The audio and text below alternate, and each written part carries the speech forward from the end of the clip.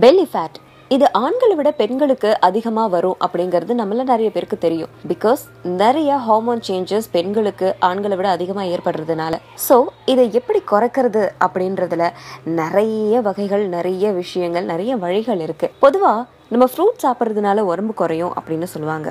Fruit சாப்பிட்றதுனால உடம்பு குறையும் குறையாது அப்படிங்கிற ரீசர்ச்சை நம்ம அப்புறம் வச்சுக்கலாம்.